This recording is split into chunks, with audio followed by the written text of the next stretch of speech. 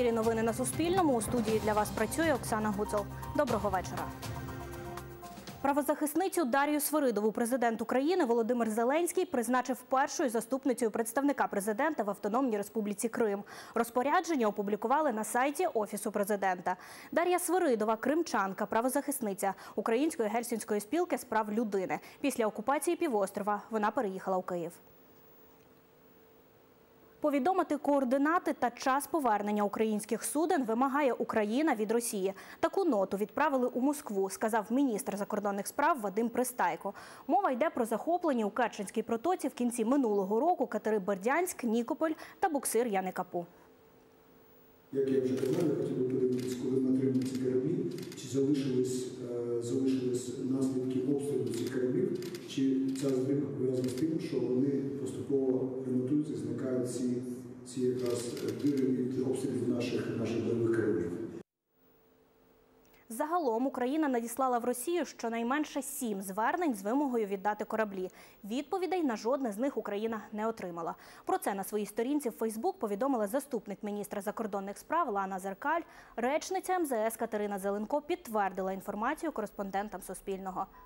Нагадаю, три українських судна Бердянськ, Нікополь та Яникапу російські силовики захопили у листопаді минулого року в районі Керченської протоки. У полон потрапили 24 моряки. Російський суд звинуватив, звинуватив їх у незаконному перетині кордону. Міжнародний трибунал ООН з морського права зобов'язав Росію звільнити полонених українців, а кораблі повернути. У вересні моряки разом з 11 політв'язнями повернулися в Україну. Понад 300 випадків порушення свободи слова і прав журналістів в окупованому Криму за 5 років. Про це Суспільному розповіла правозахисниця Ірина Сідова. До того ж долучаються блокування українських незалежних медіа, радіостанцій, сайтів. До цього ж долучаються законодавчі обмеження, нові закони, які вони вводять зараз до неповаги до влади, ввели адміністративні штрафи і за те, що Путіна е, образили нецензурною е, лексикою, вже в Криму відкрили одну справу. Е, Це катування журналістів, це незаконні утримання, затримання, це психологічний тиск, обшуки, свавілля. І все це безкарне. Фігуранту сфабрикованої справи алуштинських вимагачів Олексію Назімову окупанти віддали український паспорт з ушкодженнями. Про це повідомляє видання Крим Реалії. Олексія Назімова випустили з СІЗО Сімферополя 1 листопада. Нагадаю, редактора видання Твоя газета Олексія Назімова, оператора Андрія Облезова та екс-депутата Алуштинської окупаційної міськради Павла Степанченка у листопаді 2018 року окупаційний Алуштинський суд звинуватив у вимаганні грошей. Назімова засудили до 4 місяців і до 4 років і 7 місяців позбавлення волі. Розрив договору оренди з Кримською єпархією Православної церкви України відкладено. Про це новинам Суспільного розповів адвокат настоятеля собору архієпископа Климента Сергій Заєць. Ухвалу окупаційного арбітражного суду Криму, у якому йдеться про розрив договору Кримською єпархією Української церкви, відклали до розглядання касації. Зі слів Сергія Зайця, на таке рішення вплинуло звернення комітету з прав людини ООН. Було подано скаргу вірянами до е, комітету ООН з прав людини. Комітет ООН з прав людини зі свого боку звернувся з вимогою до російської влади е, утриматись від виселення релігійної громади з цих приміщень. І е, вже після цього арбітражний суд центрального округу Російської Федерації, той, що знаходиться в місті Калуга, розпорядився зупинити виконавче провадження на період е, касаційного розгляду. Касаційний розгляд зараз призначено на 14 е, листопада. Відповідно, е, приблизно до цієї дати виконання судового рішення зупинено. Нагадаю, з лютого цього року окупаційна влада вимагала звільнити приміщення собору. В окупаційному міністерстві майнових та земельних відносин такі дії пояснили збіганням терміну договору з Кримською єпархією Київського патріархату. Документи на реєстрацію українського православного приходу на окупованому півострові архієпископ Климент надав 23 березня. Під- Підконтрольна Росії влада тоді відмовила у реєстрації. Херсонській області завершився етап стрільб. Про це кореспондентам Суспільного повідомили в прес-центрі командування повітряних сил України. Наразі підрозділи зенітних ракет... ракетних військ повернулися до пунктів дислокації. Нагадаю, військові навчання почалися 1 листопада і проходили на полігоні Ягорлик Херсонської області. До навчань залучили підрозділи зенітних ракетних військ з різних регіонів України. Під час навчань відпрацювали удари по наземних та повітряних цілях.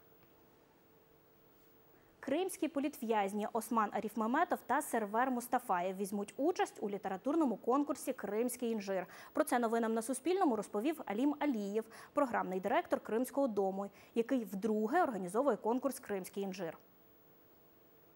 кримських політв'язня подались на конкурс Кримський інжир. Це Осман Аріф Міметов, громадянський журналіст та активіст Кримської солідарності.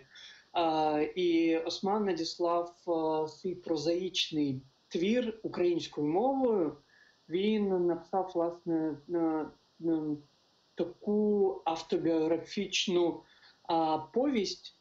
І, власне, другий е, політв'язень це Сервєр Мустафаєв, е, координатор е, е, об'єднання Кримська Солідарність і теж громадянський журналіст. І Сервєр е, Бій надіслав роботу е, це вірш кримсько-татарською мовою. За словами Аліма Алієва, на Кримський інжир цього року подали 304 конкурсні твори. Результати оголосять до 1 грудня цього року. Заслужений художник України, мистецтвознавець та педагог Мамут Чурлу зберігає та розвиває народно-декоративне прикладне мистецтво кримських татар. Секретами орнаментів ділиться зі своїми учнями в окупованому Криму. Когда я впервые попал в Крым, это был конец 80-х, вот эти бурные очень события, когда нам опять запрещали вернуться в Крым, опять обвиняли. Когда мне нужно было выплеснуть вот это все, а декоративное прикладное искусство, оно построено на позитивном мире, я обратился вот к э, живописи, к картинам.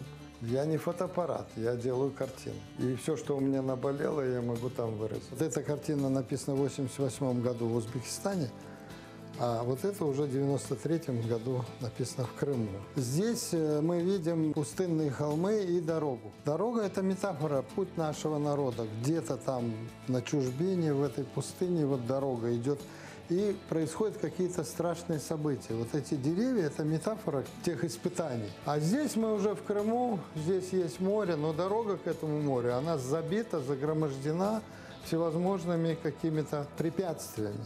То есть это реальная ситуация, когда крымские татары, которые до депортации, основная масса жила на южном берегу, когда мы сюда приехали, нас на Южный берег не пустили. У меня очень много сфер деятельности. Я занимаюсь живописью, я занимаюсь текстилем, я делал гобелены, всевозможные вышивки, изделия из войлока. И у меня есть керамические произведения, выполненные в мастерских моих учеников, но по моим эскизам. Есть произведения, вытканные нашими мастерами по моим эскизам. Конечно, моя работа с народным орнаментом, я считаю, она наиболее значительная. С конца 80-х годов я познакомился с крымско-татарским орнаментом, и предо мной возникли вопросы, что он означает. Вот прошло уже около 30 лет, и эти вопросы уже разрешены. Орнаменты, вышивки и ткачество, они почти полностью расшифрованы. Я добываю знания и даю их своему народу. Мне это интересно. Для жизни мне не надо много денег. Я картинам силы даю, а через картины людям силы даю.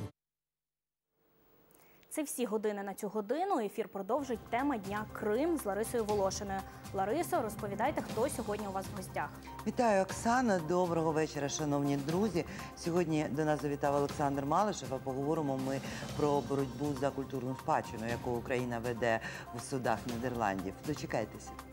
У студії для вас працювала Оксана Гуцул, а о 20.40 не пропустіть новини кримсько-татарською. Підписуйтесь на Я Крим у Фейсбук та гарного вечора.